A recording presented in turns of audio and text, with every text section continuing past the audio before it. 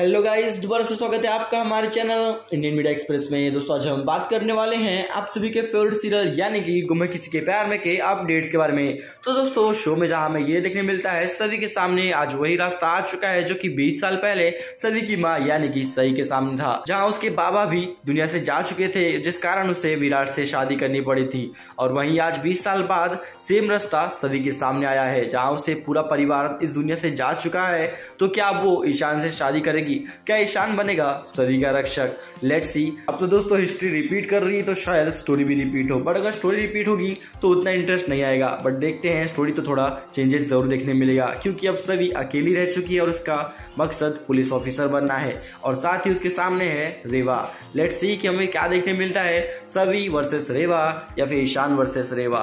वैसे तो ईशान वर्सेस रिया भाई देखने मिलेगा, ये तो कोई क्वेश्चन ही नहीं बनता। लेकिन फिर भी वीडियो पसंद है वो लाइक कर देना चैनल में नहीं तो चैनल को सब्सक्राइब कर ले। अपने फेवरेट सीरियल गुम्मे किसी के प्यार में के जानने के लिए चैनल को फॉलो कर देना बेल आइकन दबा कर दोस्तों। और अपने ओपिनियंस कमेंट में ज़रूर बताना। मिलते हैं अगले वीडियो में, अगले अपडेट्स में। यहाँ तक देखने आपका बहुत बहुत शुक्रिया। Thank you so much for watching